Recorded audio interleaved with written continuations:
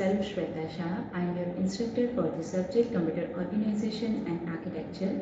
In this subject we have started unit 3 that is assembly language programming. In this unit we are going to see today the topic that is arithmetic and logical operations and loop construction. So let me start with the topic. Here uh, we will see the arithmetic operation first. In this we will see the addition of two double precision numbers. Then uh, we are adding two 32-bit numbers or you can say processing 32-bit numbers using the 16-bit register. That means you are processing the data double the capacity of your register. So at that time your data is said to be in double precision number format. Okay, so here our registers are of 16 bit but we are processing data of 32 bit so that this is said as a double precision number. Okay, here we have two numbers uh, that we have stored at 4 memory location because our number is of 32 bit and storing capacity of memory location is a 16 bit. So we will require two location for each and every number okay so we have four location like ah al and bh bl for storing the content of a and b. Okay here we can consider a and b register are of 32 bit and we are storing its content into four memory location ah and al for a register higher portion of a and lower portion of l a that is al and similarly for b that is bh and bl and we are going to store this result at location ch and cl okay higher order 16 bit will be in ch lower order 16 bit will be in cl okay next let me see how we can do the addition operation for this uh, double precision number. So for this we have to first add this lower order 16 bit that is AL and BL and we have to store at some location CL and by this addition there is possibility that there is carry is generated. Okay? So if any carry is generated then you have to add this into higher order addition. Or you can say you have to pass it to the higher order. So for that you will do the operation of AH, BH plus the previous carry okay? And you will store this result at location CH okay? So this is the basic operation for your addition of two double precision number. And now let me see how we can design this by using the assembly language programming that we have learned all 25 instruction okay? For this we have to first load this number into accumulator then add this number bl or you can see add the content of location BL then store that result at location CL then uh, bring this carry into accumulator then add this AH then add this into your register accumulator. Okay? And after that addition you have to store this result at location CH okay? So let me see how we can uh, design this by using the assembly language programming. So this is the code First we will load this number AL that is stored uh, you, you can use this instruction like LDA AL. This instruction will load the location AL is contained to the accumulator. Here we have given this location AL, AH, BL, BH, CH, CL. We don't know at which location they are stored. Okay, we have just given the label and we are using this label over here. So in first instruction the content of AL location is loaded into accumulator. In second, we have to add this content BL. Okay, so we will use the instruction add BL. Then store this result that is already in the accumulator that you have to store at location CL. So you we will use the uh, instruction STACL. This will store this content to the CL location okay after that we have to bring this carry into accumulator. So for that first we have to clear the accumulator because at this time accumulator contains this contain cl. Okay so first we have to clear the accumulator. So we will clear the accumulator by using the instruction cla this instruction will clear the content of accumulator. After that we will use the CIL instruction. That is for circular left shifting okay? In this shifting your content of e flag is going to be stored into lsb bit uh, as our alice uh, accumulator is already zero and if you shift this to the left side so all bits all zeros are shifted to left. But the leftmost bit will be your carry and uh, your msb is shifted to the carry Okay, that is already 0. So your carry flag by shifting left side after clearing the accumulator, you will bring this whatever. If it is 0, then your LSB will be 0. If it is 1, their LSB will be 1. So that is bring into accumulator. Okay. After that, we will require to add AH and add BH. So we will use instruction add AH, add BH. And then we will store this result at location CH. So we will use the instruction STA CH and to instruct the compiler that our code is completed over here then we will use the instruction HLT. So our code is completed over here and after that we have stored uh, given the labels and that label contains your data of AHL, BHBL and your result CH and C.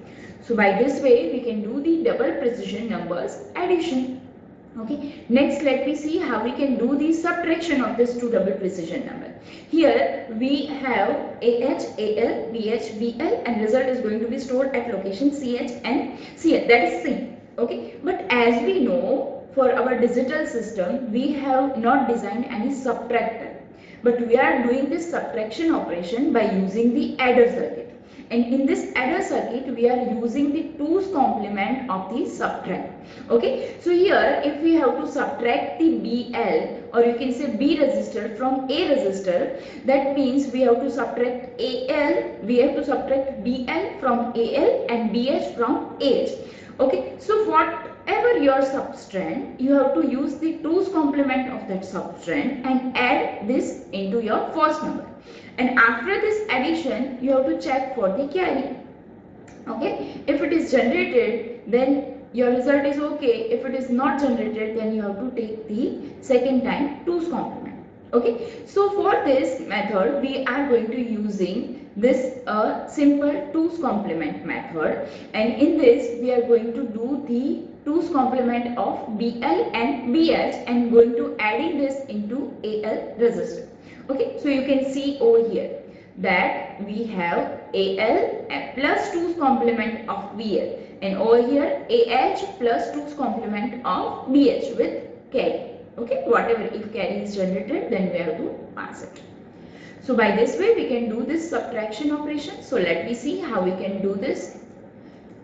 First we will use the instruction CLE to clear the accumulator.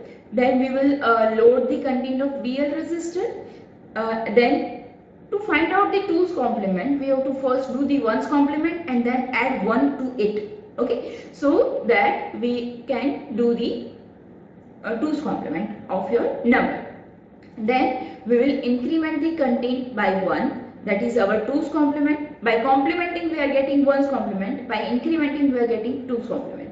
After getting 2's complement we have to add this AL into this 2's complement of BL then our result is we have to store it to the location CL.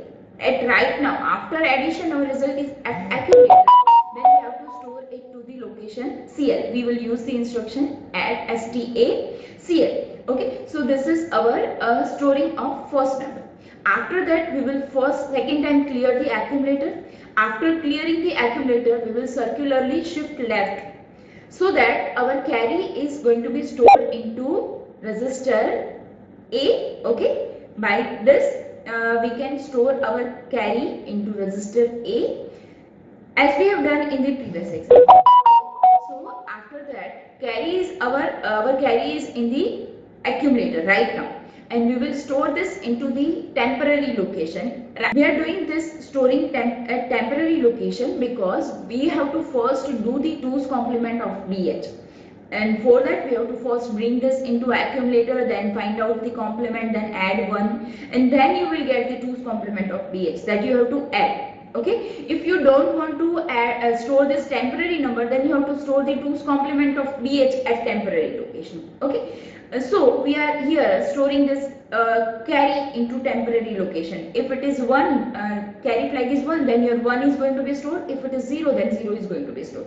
Okay, so up to here you have stored your carry. After this we have to do what 2's complement of B register and then add into AH then add the carry flag that we have stored at temporary location and then store this whole result into CH location. So for this first we will do the 2's complement of BH For that, we have to first load this number at accumulator, then complement that and add 1. This is your 2's complement of that BH location. Okay. Then we have to add AH and add temporary location that stores your carry.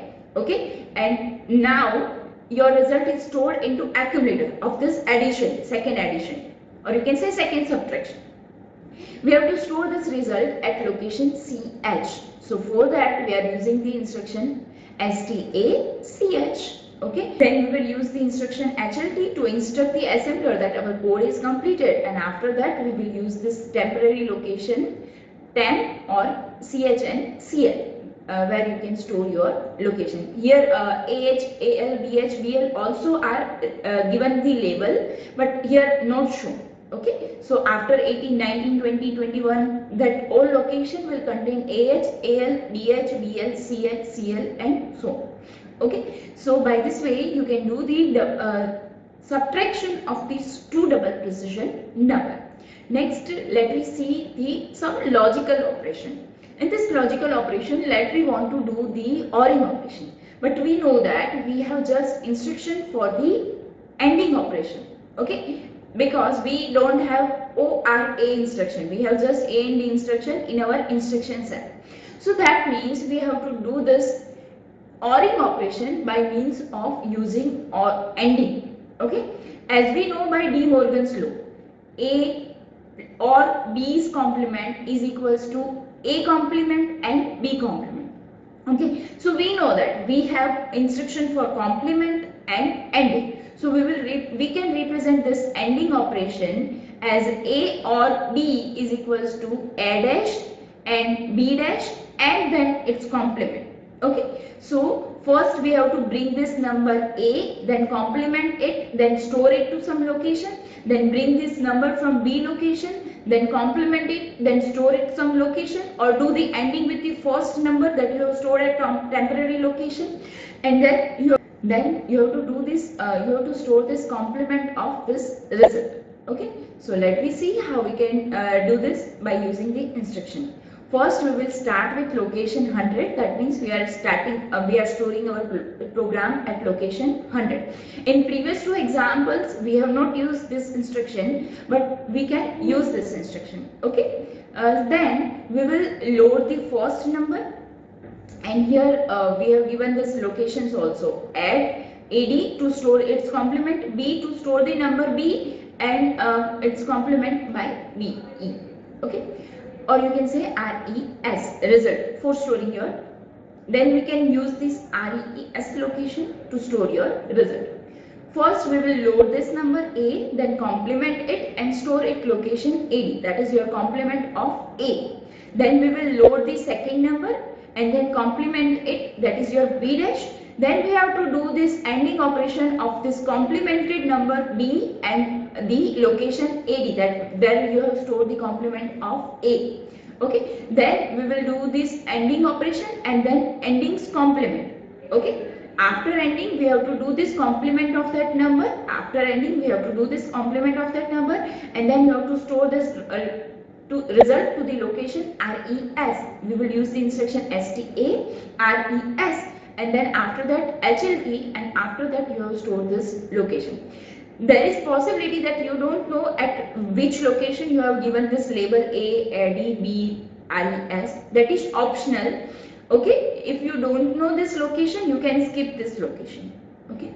But in instruction you will write these numbers so that you can say that these are written in the sequence.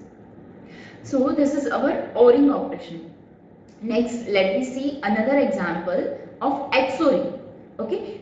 Uh, here, if you want to do the XORing of two numbers x and y, that we know that XORing can be performed as a x y dash and ORing of x dash y, or you can say x y dash plus x dash y. But here also we have ORing operation, but we know that we doesn't have the instruction for ORing. So we have to use this ending operation that we have used in the previous example for doing this ORing operation. That means complement the operands and then uh, do ending operation and then complement second. Okay, that is a plus b is equals to a dash into b dash into whole dash. You can say. Okay. So let me see how we can do this. For this we have to first load the number y, then complement this number y and uh, then end this with x that is our x y dash operation. Load the number y, complement the number y and then end it with the x number. Okay. And for that result we have to do second time complement of that number. Okay that is we that can be done by cm instruction and then store it to the temporary location. So our that much of task is completed that we have done x, y dash, whole dash. Okay. Then second time we have to do the complement of x. Next we will do the complement of first we will load the number x. Then we will do the complement of that number. Then we will do the ending with y location. That is our x dash y task is completed. Then we will complement it. Then eh, our task x dash y whole dash is complete. Okay? Then temporary or you can say this contained okay that we have stored at temporary location. So we will next do the ending with the temporary location and then do the complement of that number. That is ending with temporary and complement that number your result is generated. But it is stored at accumulator. To store it to the some location z we will use the instruction staz and then hlt instruction and after that we have given the labels x y dash where you can store your data okay? So by this way you can use this XORing operation by means of using just ending operation. Okay? This is easy task. Just you have to convert all of your operations into terms of ending. Okay? And by this way you can do XORing operation. Next let me see shifting operation for shifting we have just two instructions CIR and CIL and these instructions are for circular shifting right and circular shifting left only okay in this shifting your accumulator and E flag both are shifted left or right but if you want to do the logical shifting, in that shifting, your content of accumulator only shifted, not with E flag. So for that, you have to use some another instruction. And or you can say combination of instruction. For logical shifting from circular shifting, you can use this instruction set. Like first you will clear the E flag and then you will do circular right shifting.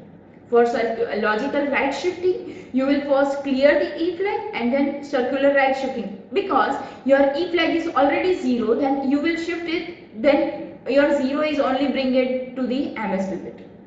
For logical shifting left, you can use CI, CLE instruction and then CIL. So your logical shifting left will be done. So by this way, we can use this shifting operation or you can say logical shifting by using just simple circular shifting. First you have to clear the A flag. Okay. You can use this shifting in your instruction or you can see in your So here we are ending our today's session. If you have any query then you can contact.